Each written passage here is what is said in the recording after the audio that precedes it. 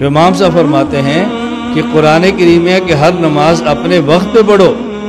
رسول اللہ علیہ وسلم دونوں نمازوں کو اپنے وقت پہ پڑھتے تھے، ایک کو مؤخر کر لیتے اور ایک کو مقدم کر لیتے، تو وہ دیکھنے میں جمع ہوتی تھی، در حقیقت جمع نہیں ہوتی۔ اب دیکھو فقی سے پوچھو گے تو حدیث سمجھ آ جائے گی نا، کتنا آسان بات ہو۔